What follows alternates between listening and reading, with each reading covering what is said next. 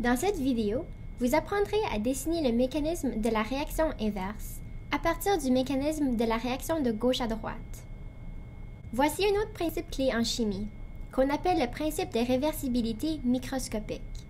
Les réactions présentent le même mécanisme dans les deux sens. L'interconversion des composés se fait de la même façon, qui nécessite l'énergie la moins élevée, au moyen des mêmes intermédiaires et des mêmes états de transition dans les deux sens.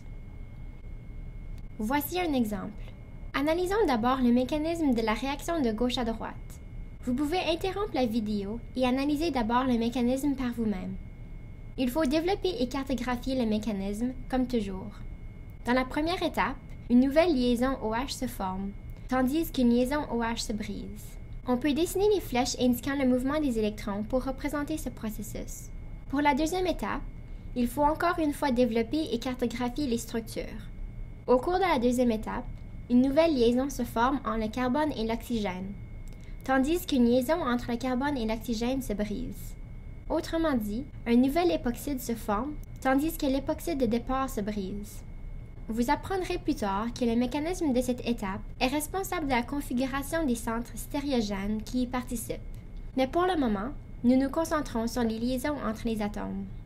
Pour la troisième étape, on développe et on cartographie les structures avant de commencer. Dans la troisième étape, une liaison OH se forme dans le composé organique, tandis qu'une liaison OH se brise dans l'eau. L'hydroxyde de sodium est reformé. Dessinons maintenant le mécanisme de la réaction inverse. Les produits deviennent les réactifs. Combien d'étapes la réaction inverse possède-t-elle? La réponse est 3. Le même nombre d'étapes dans les deux sens. La réaction présente les mêmes intermédiaires mais les liaisons qui se brisent dans la réaction de gauche à droite se forment dans la réaction inverse, et vice-versa. Au cours de la première étape, une liaison OH se forme, tandis qu'une autre liaison OH se brise, ce qui forme de l'eau et un oxygène alkoxyde possédant une charge négative. Au cours de la deuxième étape, une liaison se forme en l'oxygène et le carbone, tandis qu'une autre se brise.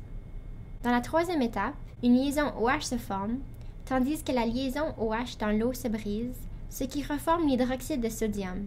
En résumé, même si on croit souvent que les réactions se produisent de gauche à droite pour former un produit, la réaction inverse est toujours possible, en principe.